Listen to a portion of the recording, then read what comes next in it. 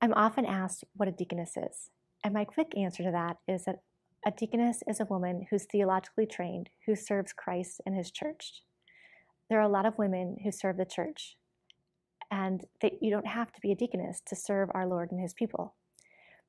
But receiving the training, and in the Lutheran Church Missouri Synod, there's a lot of opportunities to be trained theologically.